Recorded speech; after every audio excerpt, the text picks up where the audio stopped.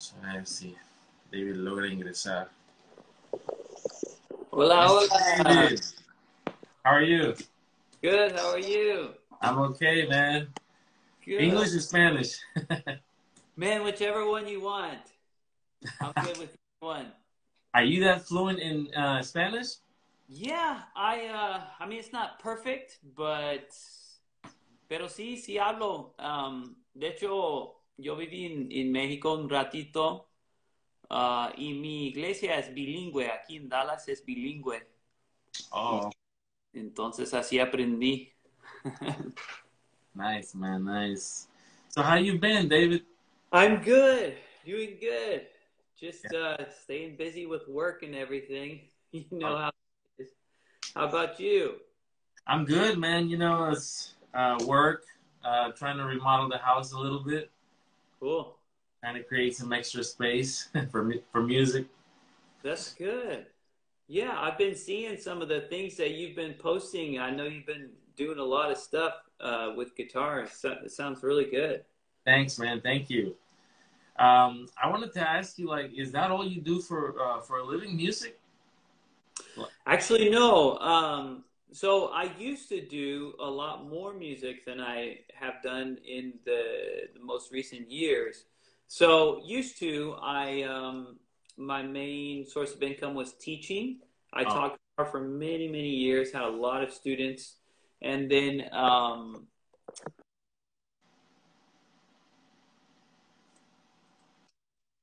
but um, and then I would play I, and travel, and I used to do a lot of recording and stuff. Um, and then uh, the last several years, I've really just been focused on. Um, my wife and I have a cleaning business.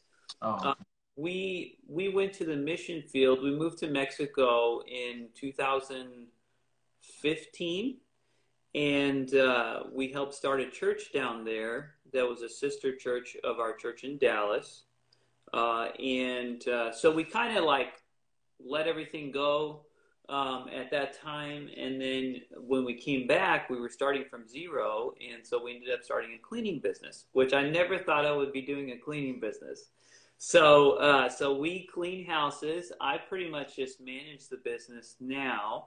Um, we have several employees, and um, so that's been a really interesting experience, you know, uh, for us. And and it's it's interesting how the Lord, you know, directs you in different ways, and sometimes He'll use uh, different things in your life at different times to teach you, you know, something that uh, that He wants to show you. And so so anyway, uh, so the last several years, I've been kind of um, not quite as active with music. I Oh. still lead worship at my church some, and I play guitar at my church. Um, you know, and and we'll do little things here and there.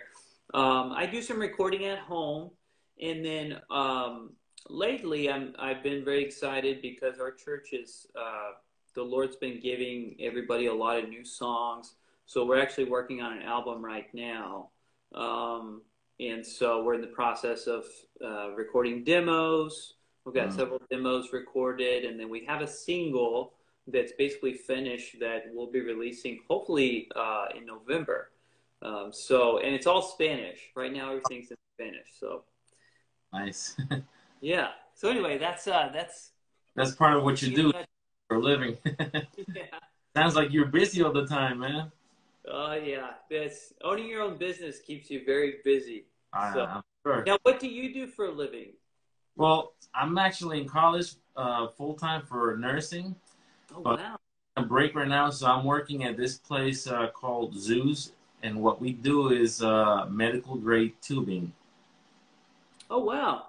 Yeah, it's pretty uh, pretty technical. It's not your uh, you know you press a button and you know the machine runs itself. It's a little bit more technical than you would expect it to be. I actually to be in training for like for like six months before they actually let me be on my own. Uh huh. Yeah, and um, I've been playing at my church also for 21 years now. I was actually the first musician at that church. Yeah. Yeah, it's uh, it's been fun, you know. when I first started in this music thing, I was like 15, I think. Uh-huh. And uh, I had an old acoustic, and I used to play. My mother used to sing. We moved from New York to South Carolina. Okay. It was a very dramatic change for, for me as a teenager, you know. Yeah. Yeah. Wow. That's cool. That's really Yeah. cool. Yeah. How did you um how did you develop into like the the style of guitar playing that you have now with the rock and learning, you know, more melodic solos and things like that? Yeah. Well, uh, when I was learning, um, I remember my uncle, who is the pastor of our church now, he bought me this book from uh, Marcos Witt. You know Marcos Witt, right? Yeah. And uh, it was an old album called uh, Poderoso. See, And read music. All I could understand was, you know, E minor, A major. So Yeah. I started doing because it actually had the guitar charts there. so I yeah, so I, that was probably the first album that I actually got into, you know, deeply. But then after the, after that, I got corrupted a little bit by this uh, country guy that I, I met, and he was our neighbor, and he was very much into like uh, Eric Clapton, you know, Uh-huh. old, uh, classic rock songs, Yeah. and he loved Stratocasters. Uh-huh. Uh, he taught me a few times. He took me over to his rehearsals a few times also. It was a very uh, nice experience for me also. Cool. Yeah. And uh, what about you, David? Uh, how did you get into this music thing, and when did you start? Because Yeah. I, I gotta tell you, man, your your your album with Marco Barrientos that was that's one epic album, man. you got long, long, epic solos there. How Yeah. did, how did you meet him? I mean, how did it all happen? Yeah. So, um, man, uh, playing with Marco it had was always very very special um, because you know Marco's all about the moment and Yeah. and really going after the spirit and you know whatever God's doing in the moment and so um, so that's why we ended up with all those super long solos you know and uh, after that night actually after that recording Marco Marco told the band he said um, he said you know he, I've recorded many times but this is the first time I've ever actually forgotten that we were recording, you know, because he was so into the moment, you know. And And you But- you feel it when you listen to the album. yeah, yeah, Marco's such an awesome guy, such a, a worshiper.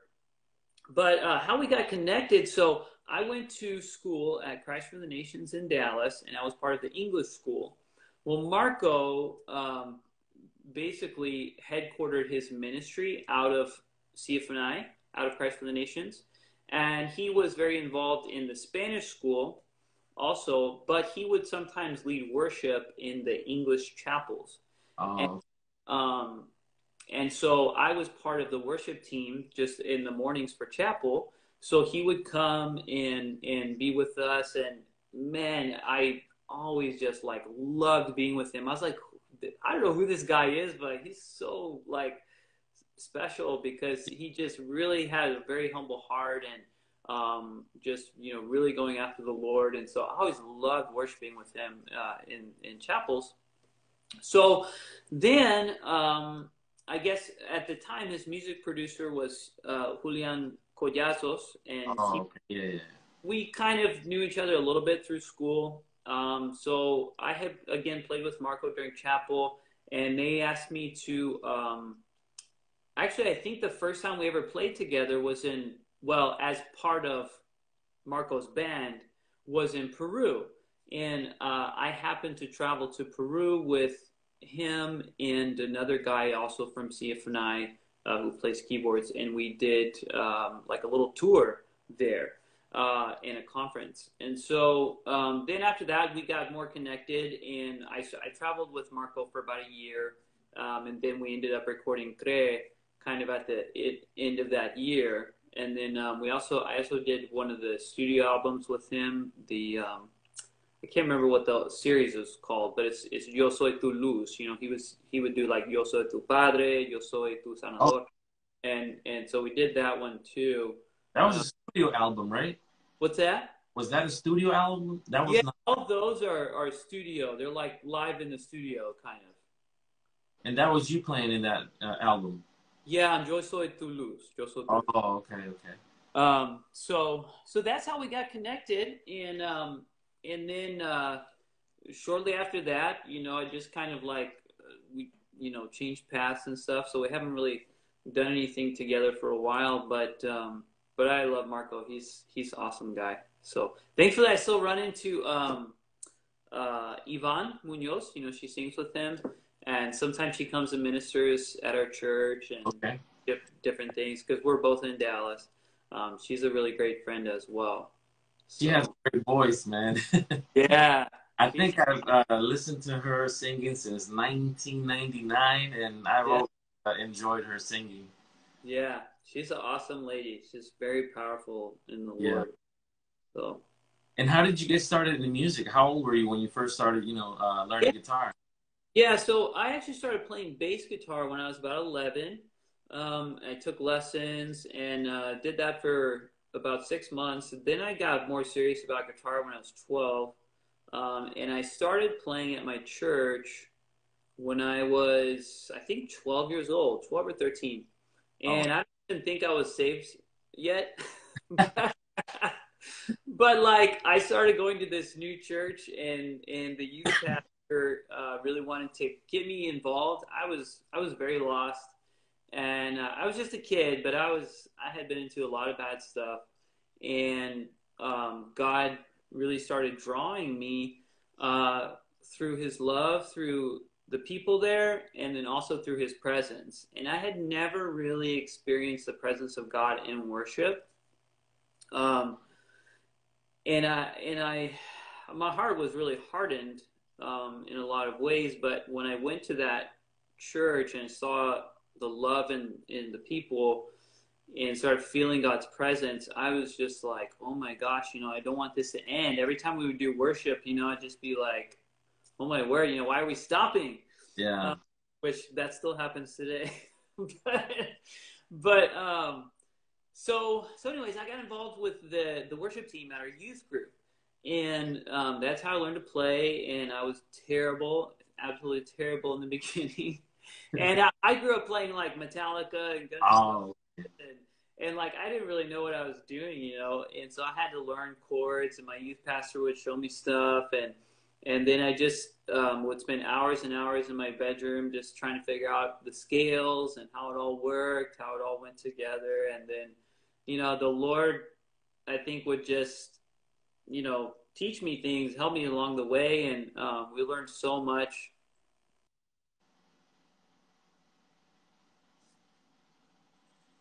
Um, as a band, but um, it was a really special time, you know, growing up like in high, in my high school years, and that's where uh, I learned a lot. And then at CFNI, I had an we had an awesome, awesome band leader, and it was kind of like I always tell people, it was like um, it was like musical boot camp. Like we, it was hardcore. I've never had anybody uh, like that before. Uh, but they put us through musical boot camp, and that's actually where uh, Keith Banks came from. oh, Me, Ed Noyola, um, and I'm trying to think who else. There are like several people that came out of that time that ended up being professional musicians and, and that are involved in a lot of different things now. So it was a it was a really special time. Uh, but that's that's kind of how I how I grew up. I mean, just kind of learning you know little things here and there uh, over the years. cool, man. Um, so just to be clear, CFNI is a music school for uh, uh, Christians, or So it's Christ for the Nations Institute. It's in Dallas, and it's actually just a Bible school. So it's kind of a practical theology school. Um, it's not like a university like Oral Roberts or Yeah. some of those other ones. Um, it's a little bit more practical ministry and theology. And then they have, but they've always been very strong in worship. Music is kind of part of the DNA at that school. oh, okay. But they had a very strong music program. Um, and so uh, we, you know, we have a couple different chapel bands. They do live recordings every year, live worship recordings. Um, they have a really nice studio there. And uh, so actually, Cree Todo es Posible was recorded in the auditorium at Christ for the Nations. Oh, okay. So Okay. that's that's the auditorium. It looks a little bit more. It looks a little different now, but um, but yeah. So and uh, that I also taught guitar there for several years. So um, that was kind of like my home base for a long time. Okay. That's cool, man. Yeah. And um, about that album, so uh, that was not your first time playing with Marco Barrientos, right? You act, you said you played with him in, in chapel before. Yeah, yeah. I played with him in chapel some, and then we traveled. I think I traveled with them as a fill-in for about a year. So, um, you know, we we did several dates together where we would go to different cities in the U.S. and we went to Peru uh, once, and then um, then we worked up to to doing Cree, and um, it was a really fun album actually. The songs are really special. Um, Julian, I think, wrote most of the songs on that album, and there it was. It was really cool. We had a lot of fun. We we kind of, uh, you know, when we talked about when we talked about the album, we just decided we wanted to try to do some kind of different sounds, Yeah. different arrangements than typical. And so um, Julian was doing some interesting sounds. I had a lot of fun with the guitar parts. Um, we just tried to kind of think out of the box and and um, and and get creative. It was a lot of fun, actually. I really really enjoyed uh, writing the guitar parts on the album. It's a long album, isn't it? Yeah, it Yeah. was a lot of songs to learn. Yeah. it might be probably one of his uh, longest albums because uh, I think some of those uh, songs are like close to six minutes each, probably more. Yeah, I think some of them go on for 11 or 11 minutes. Or, yeah. Yeah. I- I had to uh, do this live thing with you because I, I tell you, man, my wife, she, she's been all about that album since she heard it in 2008, 2009. And I was Yeah. like, oh, who he is, honey. He's like, I try to look him up because there's a part in that album where I think you're about to play a solo, and Marco says, Jaime. I'm like, who is Jaime? You know, is that your name? No, no. Uh, I somebody commented about that on Facebook recently. I can't remember what it said, but he he used to say like "Vamos, David" or "Vamos, Da- Davey." Might- Maybe that sounds like Jaime because he'll say Davey. Oh, okay. I don't know. I was when I finally found who you were, and I looked at your name, David J. Elam. I was like, well, maybe his second name is Hi- James, right? And he called him High Spanish. That's funny. Yeah. It's actually Josiah, but yeah, I don't know. I, I don't think he said Jaime. I, I don't. All remember right. said. We we like figured that out a couple weeks ago, but I don't remember. He always did that to you when uh when it was time for you to play uh solo. He'll shout out your name. yeah, yeah, he would do that a lot. I have another friend that does that, and um, yeah, I'll say "Vamos, David," or or yeah, know, David, you know, play the guitar or whatever. So, it's just uh, you know, that's his style, you know. First- lead. Time I actually searched you on Facebook and Instagram under Jaime or James. That's funny. Yeah. Um, about that album, David, um, there is a song. Uh, I don't know exactly what the name of it is, but you play a solo there that kind of sounds like you're using a fuzz pedal with an oct- octave sound. Yeah. Kind of like a 60s, 70s, you know, Hendrix type sound. Yeah, yeah. You mean to do that? Yeah, so I had back then, I don't have it anymore, but I had an amplifier. It was called an Ampeg Jet 2. And that's actually a 1960s reissue. Oh, okay. Um, and it was a 15 watt amp, and it had the EL84 tubes. So it has kind of that British sound from Oh. like 60s or 70s. And so what I did was I turned the drive all the way up.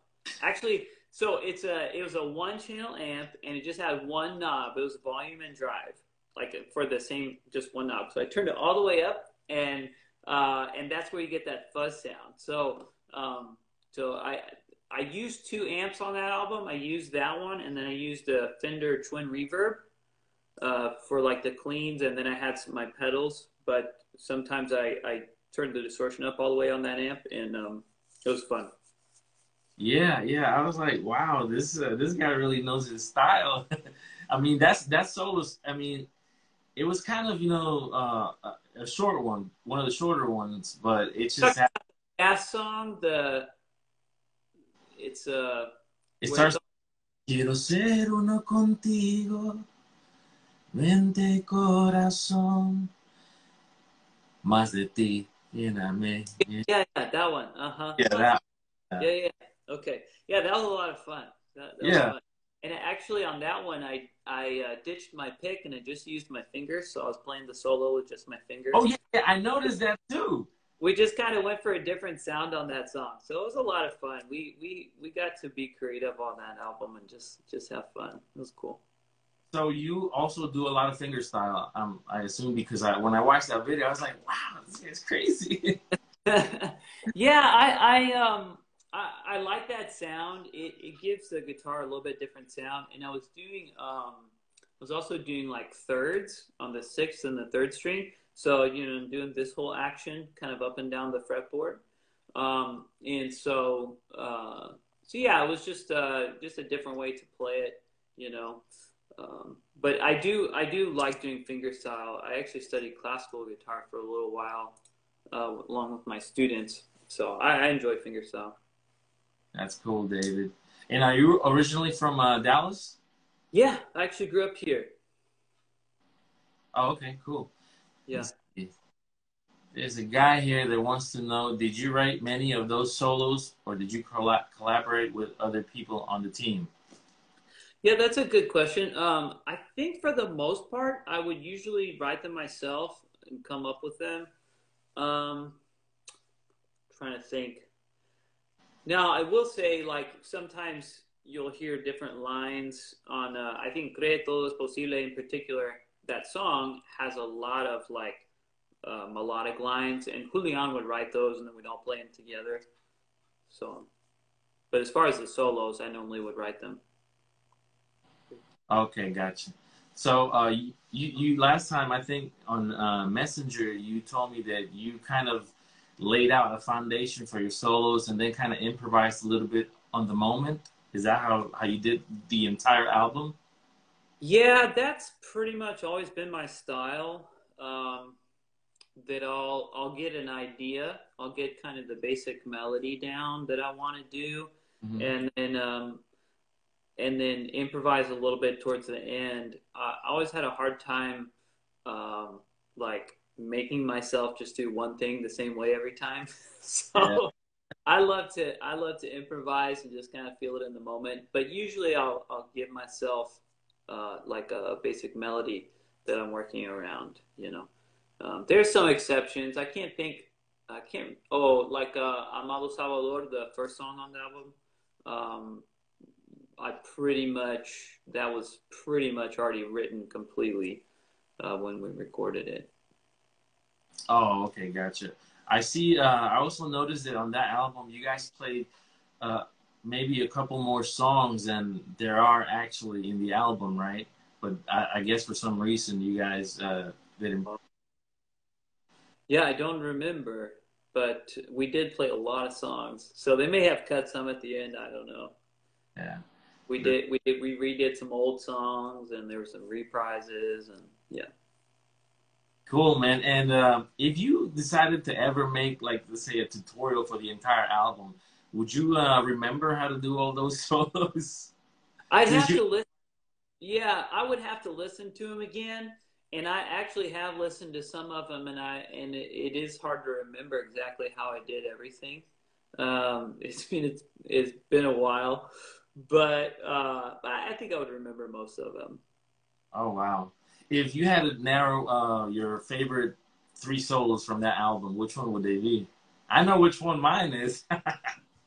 well, I do. Yeah, I really like Amado Salvador, um, and then um, Anhelo tu presencia. Mm-hmm. Um, that was one of my favorites, um, and probably the one that you mentioned, the other fast one. Um, I can't think of it now. The the one with the, with the finger style. Um, I think it's called Quiero ser uno contigo. Oh yeah. Okay. Yeah. I know that. I, I that one a lot. Yeah. So. Okay. So, um, what about the other one, the Mi Universo? Do you remember anything from that solo? I not really. I've listened to it a few times, and and because uh, I I see people talk about it, and I've listened to it a few times, and and um, I always forget how it goes. I don't remember it honestly. that has your name all over it, man. No matter where where you are and you hear that, it's like, yeah, I know who that guy is. That's funny. That's a pretty song, though. Yeah, that's a very beautiful song. Um, about that solo, um, I know you were focusing on your guitar, but he also had a, a guy painting, right? Yeah, yeah. He's a he's a friend of mine, uh, friend of ours. His name's Carlos Casares. Okay. Yeah, he's a very um, great artist. He he really is remarkable. He does really really neat work. Very very humble guy. So um, so yeah, they had him paint during that song, um, and uh, can't remember exactly what it. It was something about like the the worship of heaven, I think. Um, you know, but uh, but yeah, that was really cool. That was interesting. I Yeah. can't my wife, I think it may have something to do with like the universe and how we just don't understand God and how we don't understand the universe, you know. Yeah, I'm Yeah. sure uh, a meaning behind it. yeah, yeah. I know he. You know, they sometimes some of our friends would do a thing called we always call it the prophetic painting. You know, Mhm. where you know, like if you're kind of like prophetic worship, like you just play what you feel like the Lord puts in your heart to play. You know, and so um, he, I think, got an image that he felt led to to paint. Um, if I remember correctly, it was, it was something about like heaven joining in with our worship or the saints, you know, in heaven. Um, so it was it was pretty neat. That's Cool. cool. And um, was it exhausting? Um, I don't know how you're doing on time. Are you are you still good? Yeah, I'm fine. How was that experience? You know, when you actually toured with Marco, especially the Peru, was that exhausting? Were you tired? Did you feel like you want to do it again, or were you like, I'm done with this? No, well, um, I I toured a lot when I was single. Uh, Oh. So when you're single and you don't have a wife and you don't have a because you just you go for it and and it's a lot of fun. It can be exhausting for sure. Uh, when we would go to places like Peru, I mean, you know, there are longer flights and uh, you're there for 10 days usually. Actually, I think that time we were only there for four or five days, but it's kind of like nonstop, like conferences all day and, uh, you know, doing different things. So it can be tiring, but it's a lot of fun. I, I've always enjoyed traveling. I really enjoy meeting new people um, getting to talk with people and pray with people and just getting to know, you know, other believers in other parts of the world. So I've always enjoyed that a lot. I, I love to travel and, and just be with God's people. And so, but Yes. now having kids and a wife, it would be pretty hard. Oh I yeah, don't know how Marco does it. You know, I mean, normally, normally he would. What he usually does is he'll go out on a Friday or Saturday and come back on a Sunday. So it's usually a pretty quick trip. Um, that's a little more doable. But whenever you're doing international, uh, you know, that's it can be taxing. how was your Spanish back then? It wasn't very good. Um, I was able to understand Marco like okay. Marco speaks very slowly and very articulate. He's very easy to understand, so I could understand him pretty well. But um, but if it's like somebody from Venezuela or something, so like they talk really fast and it's just I Huh? They're very fast spoken. Like they would say, instead of saying David, ¿cómo estás? They'll be like, David, ¿cómo tú estás? Yeah. Fast. Yeah. yeah, yeah. So, uh, no, back then it wasn't very good, and uh, Yvonne would help me a little bit, you know. But that's um, but I really learned to speak Spanish better whenever I started leading worship at my church in Spanish. I was kind of forced to learn a lot more. And then uh, we would, my church, being that it is 70, 80% Hispanic, we do a lot of mission work in Mexico. Okay. Um, and so, like, traveling a lot more and then living in Mexico really helped a lot. When you say uh, you lead at church, you mean you play or you sing also?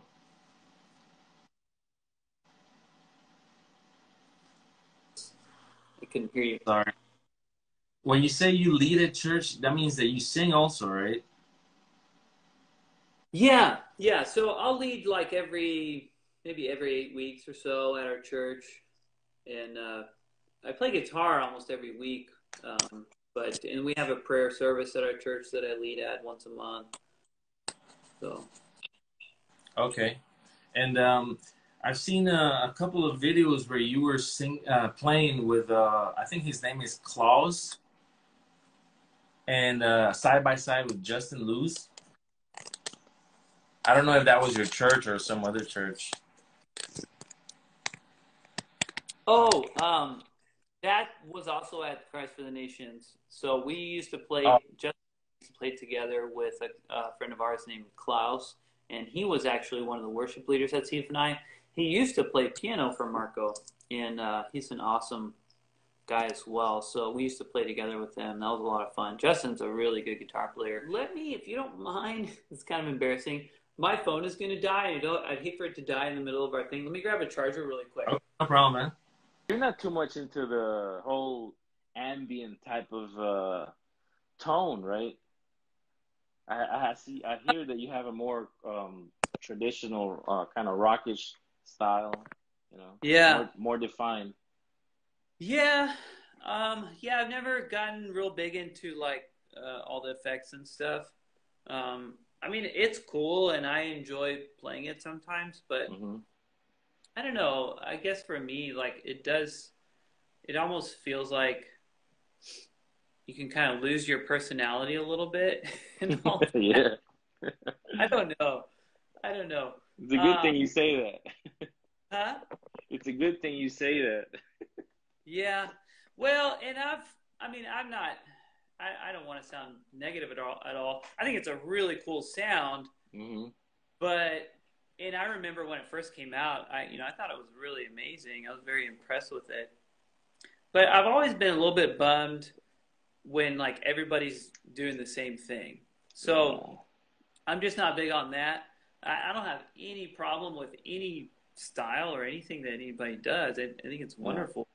Um, but I just, I've always been real big. You know, something I was real big on with my students is, you know, I'd say just learn how to express yourself to the Lord. Because I think that's what's worship. Like, I was reading something. I mean, I was I was reading the Word a few weeks ago, and I had been praying like for the last few months and asking God, like, there were some things that were kind of bothering me in my heart about just certain elements of like modern worship. Mm-hmm. And I mm-hmm. won't get into them because I'm not one to like I don't want to be nitpicky. You know, you have to be really careful. You don't want to be nitpicky. You don't want to be yeah. religious. But I was really praying because I was like, you know, Lord, there's some things that are kind of bothering me. And I wasn't sure what to think about it. And I didn't want to be like, you know, it just be me. So I was reading and trying to see if there was something in the word that would help me understand.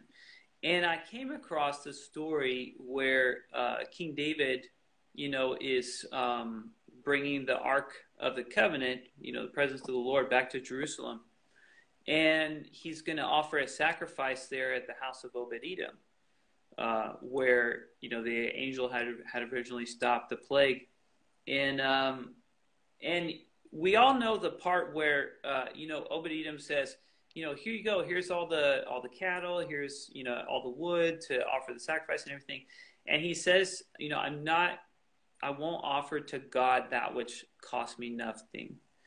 And we all know that part of the verse, but because it gets quoted a lot. But the first part of the verse that I had not really paid attention to, and that I never hear anybody talk about, is he also says, I will not offer to God what is yours Mm. or what's not mine. hmm And I feel like a kind of what we Yeah. end up doing in worship a lot of times nowadays is we're kind of like offering to God like somebody else's thing. And like that was their Right. thing, but let it be their thing and then you figure out your thing. Yeah. Exactly. I, I think that we've kind of lost a lot um, of the organicness of worship. And I'll be honest, I think multi tracks is a big part of that. I think there's a little bit of a, a issue there, um, and because because like, uh, you know, if you play with multi tracks, you're kind of like confined to play like exactly what that other person played. Yeah. I don't know. I personally, I'm just not real big on that. I, I we use them at our church a little bit, but we're actually getting away from them. Um, we found that it actually has hampered our growth instead of helping our growth. So it's it's funny how that works. But um, but anyway, I'm I'm just I think that we all need to explore, you know, and and really really I think that God gives you your own specific sound, you know. Mhm. Yeah. Um, and I can play all those other sounds, but but I also like to to be creative and, and find my own sound and and try to express that to the Lord and then whatever he puts in my heart, you know. So I'm real big on that. Yeah, I definitely understand you. Uh, I think we tried multi tracks when I uh, maybe two, three years ago, and I wasn't very fond of it because um, I think, like you said, it takes so much of your own essence away Yeah. that it's like you're just, you know, bringing someone else's offering to God instead of your own, you know. Yeah. And you don't realize that you're doing that. And it's Yeah. not like anybody has bad intentions, but I, I think that there are often unintended consequences to using technology. Yeah, yeah, You know, even social media has kind of unintended consequences. You know, you just yeah, have to be careful yeah. and know what it is that you're doing. Yeah, I I, uh, I agree 100%. Um, I think one of my main issues with uh, multi-tracks was that it made me feel like I was a robot when I was up there playing, you know, when I when I'm used to feeling free, you know, Mhm. and just going with the flow. I Yeah. think that was my main issue with it. Yeah. Yeah, it's you know, it's multi tracks make you sound great. They make you sound very professional, but at the end of the day, like, is that the most important thing? Yeah. I don't know. And sometimes, you know, some churches use it. Our church used it a lot to kind of fill gaps hmm for a while because we didn't have very many musicians. Um, and so In we were, Texas? yeah, I know, right? Yeah. but but uh, we were using it to fill gaps, you know. But we've kind of gotten away from that, so we don't Yeah. need it as much anymore. But I still I still prefer an, a guy with his acoustic guitar Yeah, know, definitely. because there there's a little bit more liberty there. Yeah. Yeah. So It's a di- huge difference, I think, when you're playing, you know, in a church. Uh, I think you have to let it, let the spirit flow. I think you have to feel more free than Mm-hmm. when you're playing in a in a worldly setting or a Yeah. scenario. You know, you have to be, you know, on point on everything that the original album has. Whereas Yeah. in, when you're in worship uh, uh, time, I think you have to definitely let the spirit guide, you know, your music, your expression. hmm I think. yeah, yeah, absolutely. I think that's really important. Um, I think we have to be led by the Spirit in, in everything that we do, you know, because if you can everything, then you're just going to miss it. You know, what if God wants to move a certain way? And it's not that he can't with multi tracks, because I've we've seen Yeah. mean, he does, but we just, but it, it just lends itself to, you know, canning it and it can even inhibit your growth as a musician because you just it's easy to learn parts especially like with multi-tracks nowadays hey learn this part i mean they're all super easy Yeah. Uh, but it kind i feel like it can help you be a better musician to a point, and then it kind of stops, and then it won't Yeah. help. you Yeah. have to, you gotta gotta take the training wheels off so you can keep going. Yeah. You know. It kind of stumps your creativity also. Yeah, yeah. Yeah. Yeah. And and one thing too, and I think this is really important, really valuable just from a musical standpoint, is like one of the most important things you one of the most important skills you can have as a musician is knowing how to play in different size groups. Yeah. So, for example, if you're playing in a three piece band with a guitar, drums, and bass, you're going to play completely different than if Yeah. you're Israel Houghton and there's like horns and two keyboards and three guitars and, and stuff. You know, you have to play less. And Yeah. so, um, but it's important to know how to fill those gaps if you're a small band. Uh, and it helps you be a better musician to Yeah. be able to adapt to whatever size band you're playing in. Whereas in multi tracks, it's uh, again, there's nothing wrong with multi tracks, and I, I'm not, you know, like I'm not, I would never argue with somebody about like that. It's just we're just talk making some points, but um, but you know, it does kind of uh, you're always just learning those parts and learning how to play a part instead of like playing with other musicians and playing as part of the group and learning how to like using your own creativity to know how to um, play what's appropriate you know yeah. um, it really it really takes a lot of the thought process out of it you know you you Yeah. just learn the basic mechanics but not really understanding how um, not understanding how the recipe was made yeah. Yeah. Definitely, man. So, Yeah. When it comes to gear, um, you said you don't really get too much into it, right? But like, do you kind of remember uh, what type of gear you used for that album? Uh, Creer todo es posible. Yeah, so I've always had a very simple setup. Um, back then, I uh, I used the twin reverb, and then I had that other uh, tube amp that I used. It's a one-channel amp, so it had a little bit of distortion, or I could turn the fuzz all the way up. And then um, What was that I- amp called? Sorry. Yeah, it's called Ampeg Jet Two. Jet two. Do you still own Yeah. that? No, I sold it several years Oh, okay. ago. Yeah. Um, but uh, so back then, let's see, I, I, I had a very similar setup of what I have now. Uh, I used a DD20 Giga delay.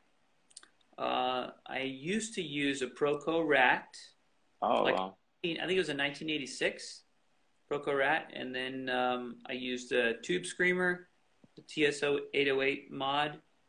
Uh, the I used the 535Q Crybaby Wah. Uh, back then, the compressor I had was a MXR Dynacomp. Okay. which I don't really like. I wouldn't really recommend it. Um, I love my compressor now. But what is it? Then what else did I use? That's actually it. So I only had two overdrives or two distortions back then. You stacked them? I would stack them, yeah, for like a lot of those heavier solos or that sort of like 80s sound. I would them. Um, now what I have, it's very similar. I have uh, the Giga delay. I have the same wah. The compressor I use is, um, oh my gosh, can't believe I just forgot. This is, that's crazy. anyway, Is it the Cali 76? no, it's um, oh, it's a Wampler. It's the Oh, okay. Wampler Ego Mini Yeah. and it has a blend knob. So I set the compression really high. The sustain is very, very high, but I just blend a little bit in. So it has Oh, a very natural com- sound, but it, the sustain is really nice. So That's love- that's a blue one, right? yeah, No? yeah, and it's a super small pedal, and it actually goes on the underside of my um my Temple Audio pedal board. Oh, so you always have it on? I just always have it on. Yeah, Oh, okay. It's such a nice compressor. It's very, very natural compared to the Dynacomp, And it was like a hundred dollars or something. Yeah, yeah. And then I also have um, now I use a, a Tube Screamer amp.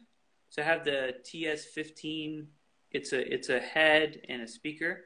So it's um you know it's a class I guess class B uh, tube amplifier, but it's really cool. And then I have um, I got a new pedal from JHS. It's the Kilt version two, Oh yeah, yeah, one that's 2G designed. yeah. That cool, cool pedal. I always wondered how he got a lot of the tones that he did, and it's super versatile, but amazing like semi clean sounds and then amazing fuzz sounds. Such a cool pedal. Um, and then the other one I use is also a Wampler Overdrive, the um, the Brad Paisley oh yeah. So I like that one a lot. It's pretty versatile as well. Um, so I use all those different overdrives for different things. And Are you are you more into like um, low to medium gain, or do you ever reach into like high gain territory? uh, I'm more low to medium, except I do like just for solo specifically. I'll I like a little bit higher gain. Um, and then sometimes I'll use high gain just for like really big chords, you know. Mhm. Yeah, Just like low to medium gain with the delay, you know, to really fill it out and everything. yeah. So, but if we're playing like Baroque or something, sometimes I'll have like more heavy gain. I think somebody's asking, eh, can multi-tracks be transposed? Yeah, you can transpose them to almost any key. Oh, okay. Yeah, if you download them from multitracks.com, you can transpose up and down. Okay. Do you ever have to create multi-tracks for your uh, for your church? No, we never have. Um, that's it's something I've thought about doing before, but but we never have. But we're really we're really trying to to get away from that so our band can grow. We have a lot of young musicians in our at our church, and so we're trying to we have to do a lot of like training and helping them, you know, to grow. Yeah. So I saw that you uh, on that album you used uh, two Fender guitars. One was a Strat and the other one was a Tele, right? yeah, Do you still own those guitars? Yeah, I do. Um, in fact, the Tele is right in front of me. corner. Um, it's in a case, but uh, and then the Strat, I still have it, but it's actually um, in a couple different pieces. I I got here. I'll show you. This one on the wall here um, is a, one that I picked up at a pawn shop, but I changed out the pickup and the, I changed out a lot of things. But the neck on this guitar is actually the neck from that old that other Strat. Um, so it's a 1988 Strat. So I've I've got it on this guitar right now, and I I've got one neck that I need to refret. So it's and uh, and the body from that guitar from the album, what did you do with it? uh, it's in the, it's in the case Oh, okay, okay. actually right there. I thought you had disposed of it, man. no, no, no. It's just that I need to refret one of my necks, and so I've got that one put away. It has a very different pickup uh, configuration, and I wanted to try this one out, and I really have liked it. Somebody gave me this um, Hot Rails pickup. It's an Oh old yeah, and it's really nice for the bridge. So I've been enjoying. it's a humbucker, right?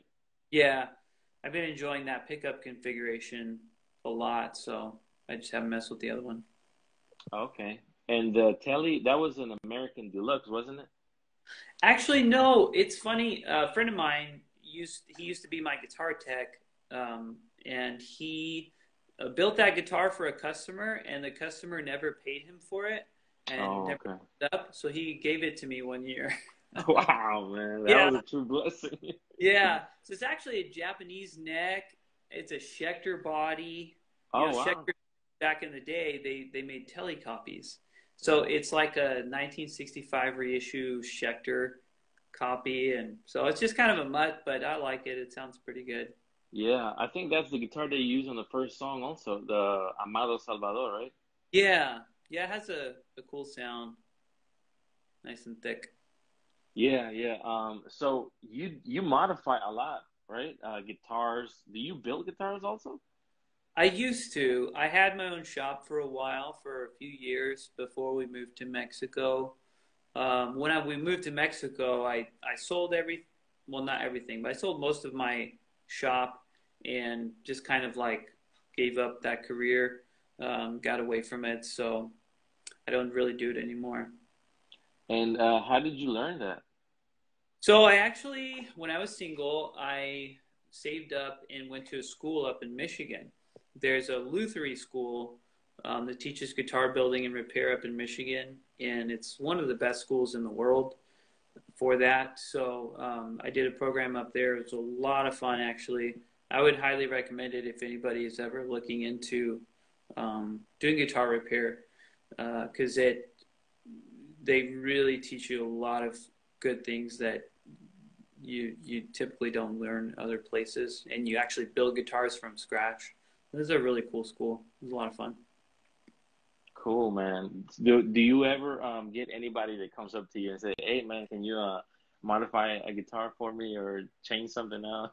yeah, I still get requests like for repairs and setups and different things, but I just I don't really have time for it anymore, unfortunately um, because of our business and stuff. It's pretty demanding, and then you know, have I've got little kids, and so oh, wow. uh, we stay busy. We stay busy at church, you know. Yeah. So I would like to do it, but unfortunately, right now, I'm not able to. So you only work on your own stuff, right? Yeah. Yeah. And uh, your family? I, I think I saw a picture of your wife. She's Hispanic, right? Yeah, she's Hispanic. Did she um, teach you any more Spanish?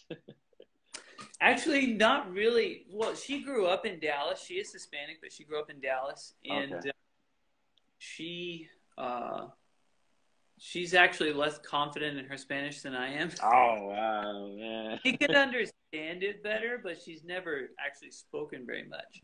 Oh, so, okay, gotcha. She can understand it perfectly because her grandparents, you know, they all spoke Spanish. So, gotcha. How many children do you have?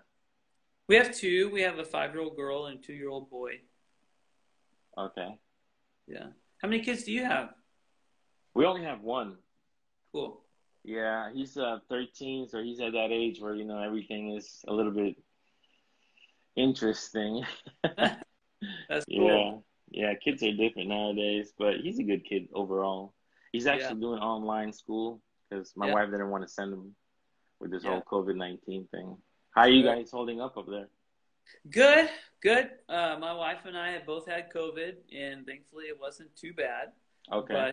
But um, I got sick back in May. I was down for about almost 14 days, um, and it really does. It can zap the life really? out of. But I didn't have any respiratory issues. I was just very tired and super achy. My whole mm. body hurt. Um, so it was it was hard. My wife had a very mild case recently, mm-hmm. and thankfully hers hers was not a big deal. So, okay. But yeah, it's tricky. Yeah, yeah. I hear uh, different people having different symptoms, yeah. different results. You know, some people just get horrible sick, and some people don't even yeah. feel it. Yeah, I had we had a couple of friends at church that got sick around the same time I did, and we don't I don't know who the original donor was, but uh, but they they got sick even worse than I did, so it was mm-hmm. hard. But then my pastor got sick recently, and he's like seventy four, and he it was hardly anything for him, thankfully. Oh wow, yeah, I think my uh, pastor's mother also had it, and she's like 85 and she said she never felt any different. wow. Yeah. Yeah. Crazy. Yeah, dude. So uh, when it comes to um, I, I remember asking you about uh, your experience with uh, Justin Lewis. Have you ever performed with any other professional musicians? Um, no. Besides besides Marco, besides Justin, you know. Yeah, I mean, obviously Keith you know, Keith Banks plays with Marco, and so we would play mm-hmm. together. And um, you know, pretty much just Marco's band, and then I traveled with Klaus for a while. But uh, no, I think that's pretty much it. I trying to remember. I filled in for a couple of other people here and there. Mm-hmm. Um, actually got to play with uh, Miel San Marcos a few weeks ago here in Garland. In oh, really? They came to I guess they live in Fort Worth now, which is close to Dallas, and they came over to a church uh, here recently. It was actually kind of a small event, um, but it was neat. Uh, so I learned a lot of their parts and played with them. They're really cool guys, so that was pretty fun. Did you need any time for a rehearsal with uh, Miel San Marcos, or did you uh, improvise everything? Well, I just I tried to learn as many songs as I could, you know. And then you And put your, your own little piece of David in it. Yeah, yeah. I, I mean, their songs are pretty s- simple, except for there's just a lot of like melody lines to Mhm. memorize. Mhm. So, um, so I tried to do my best, you know, but it was fun. yeah. But- They approach you about this, or No, Or- so what happened was I just one of the guys at our church happened to know the guy that was organizing the event, and I guess they asked for musicians to fill in some of the holes, and so a few of us just filled in like on keyboard, guitar, and acoustic, and uh, so um, so yeah, I, I just happened to to know somebody. They they just we just kind of went through the church basically. that was just a one uh, night experience, or Yeah, oh, okay. Where was this Yeah. in Texas, right? yeah, close to Dallas. Have, have you uh, maintained any communication with Marco after the that uh, Cree Todo Es Posible album? Well, here and there, but I actually haven't talked to him in a few years. I haven't seen him in a few years. Um, but we would we would see each other every now and then, you know. So, but How I, I, far? I still see Yvonne. Okay. How far away do you uh, live from uh, Marco, Yvonne, Keith, Julian? We're all within. I mean, we're all within about forty-five minutes of each other, roughly. You know. Oh, okay.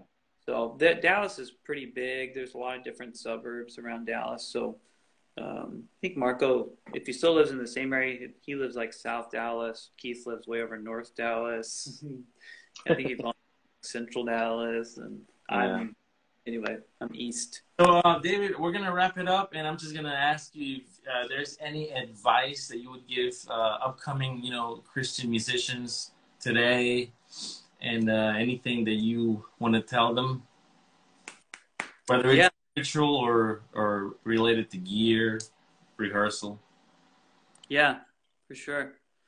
Well, um, I will say a couple of things. Um, man, just honest, honestly, put God first in your life, and don't seek opportunities.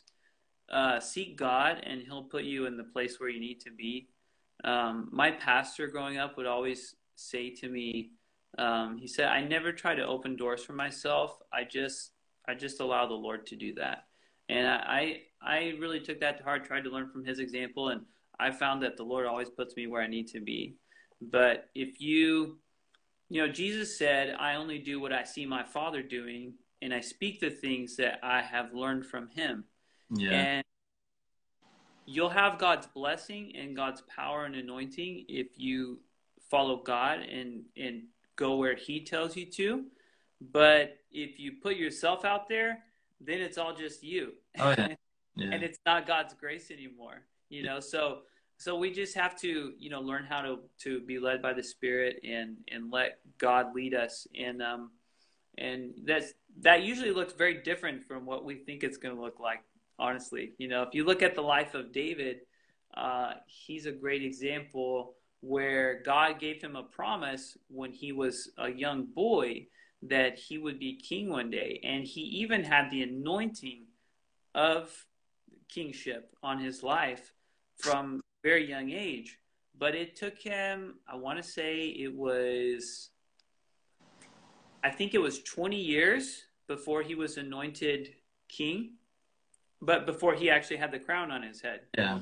got the office.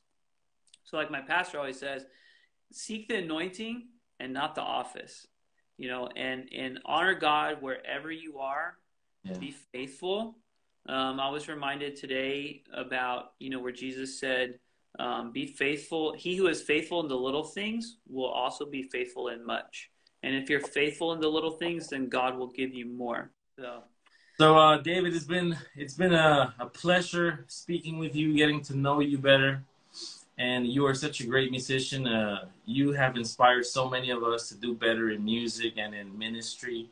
I just want to say thank you for your time, man. It's been an Great. honor. yeah my pleasure thank you i'm i'm glad glad to be an inspiration if I can be. So that's that's good. Praise the Lord. Friend, thank you for your time, and uh, I will not take any more of your time. I know you're busy. You're good. You're good. Well, my pleasure. So, um, so yeah, if anybody has any questions, feel free to you know send me a message on Instagram or Facebook. Um, I'll I'll try to monitor that the next couple of days. Um, YouTube. and, uh, I'm sorry. What is your YouTube channel name? Is it just David Elam? I think it's David J. Elam. David. Okay. But yeah, but I don't really have a lot on there. Um, Okay. Yeah, so um, the best place to reach me is probably through Facebook. Um, Right. so And- Instagram. Uh, this is your main account, right? You don't use the other one anymore. no, I don't use the guitar one anymore. That was for when I was repairing guitars. Okay, gotcha. That one. All right, my friend. Thank you for your time and blessings to you and your family, man. Thank you. Same to you. Thanks for the invite. Yeah, man. We'll do it again some other time. Yeah, absolutely. I would love to hear more about your musical journey and what you're doing these days. Thank you, my friend. Thank you. It's been an honor, David. Have a great day. Thank you. You too. All right, bye bye.